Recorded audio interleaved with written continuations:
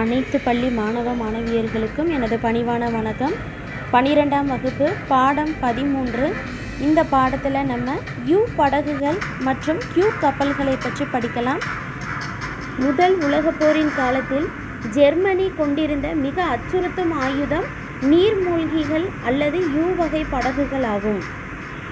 மிகவும் முக்கியத்துவம் வாய்ந்த கடற்போரானது மே மாதம் ஆயிரத்தி தொள்ளாயிரத்தி பதினாறில் டென்மார்க்கின் ஜட்லாந்து தீபகற்பத்திற்கு அருகில் நடந்தது. இந்த போர் ஒரு முடிவுபடாத ஒரு போராகவே இருந்தது.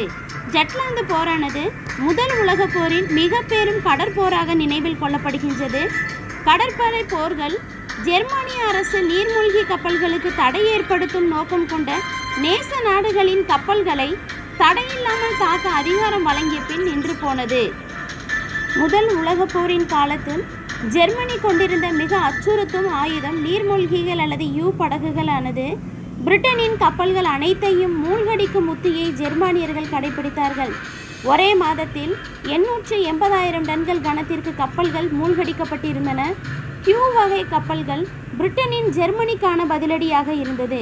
பிரிட்டன் இருநூறுக்கும் மேற்பட்ட நீராவி கப்பல்களையும் மீன்பிடி கப்பல்களையும் சரக்கு படகுகளையும் கொண்டு வாணிப நடவடிக்கையை மேற்கொள்வது போன்று ஒரு மாய பிம்பத்தை ஏற்படுத்தி யூ படகுகள் விளைவித்த ஆபத்துக்களையும் எதிர்கொண்டது. பிரிட்டன் இந்த கப்பல்களின் வாயிலாக ஜெர்மனியை தாக்குதலை தூண்டச் செய்து பின் மறைத்து வைக்கப்பட்டிருக்கும் ஆயுதங்களையும் படைபலத்தையும் கொண்டு பதிலடி கொடுக்கும் உத்தியையும் கையாண்டது. ரஷ்ய சார் மன்னரின் ஆட்சி பிப்ரவரி ஆயிரத்தி தொள்ளாயிரத்தி பதினேழில் கவிழ்க்கப்பட்டமை கிழக்கு புறத்தில் மத்திய சக்திகளுக்கு பெரும் திருப்புமுனையாக அமைந்து அதன் பின் ஜெர்மனி தன்னுடைய கவனத்தை மேற்கு புறமாக குவிக்க வழிவகை செய்தது. அமைதியை விரும்பிய சோவியத் ரஷ்யா ஆயிரத்தி தொள்ளாயிரத்தி பதினெட்டு மார்ச் மூன்றில் ஜெர்மனியோடு பிரஸ் லிட்டோவெஸ்க் உடன்படிக்கையிலும் கையெழுத்திட்டது. முதல் உலகப் போரில் அமெரிக்காவின் நுழைவானது நீர்மூழ்கிகளின் படையெடுப்பு உக்கிரமான போது அமெரிக்கர்கள் போரில் நுழைந்தார்கள். பிரிட்டிஷாரின் லைனர் வகை கப்பலான லூசிடானியா மே ஆயிரத்தி தொள்ளாயிரத்தி பதினைந்தில் ஜெர்மானிய நீர்மூழ்கி கப்பலால் மூழ்கடிக்கப்பட்ட போது அதிலிருந்த நூற்றி இருபத்தெட்டு அமெரிக்கர்கள் மாண்டனர்.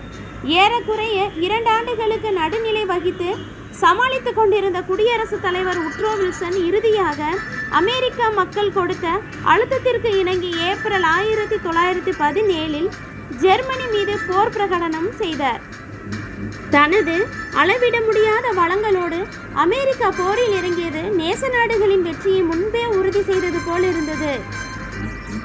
எனவே மிக ஆபத்தான யூ படகுகள் மற்றும் கியூ கப்பல்கள் பற்றி நாம் அறிந்து கொள்வது என்னவென்றால் முதல் உலகப் போரின் காலத்தில் ஜெர்மனி கொண்டிருந்த மிக அச்சுறுத்தும் ஆயுதம் நீர்மூழ்கி கப்பல் அல்லது யூ வகை படகுகளாகும். பிரிட்டனின் கப்பல்கள் அனைத்தையும் மூழ்கடிக்கும் உத்தியை ஜெர்மானியர்கள் தான் கடைபிடித்தன. கியூ கப்பல்கள் பிரிட்டனின் ஜெர்மனிக்கான பதிலடியாக இருந்தது.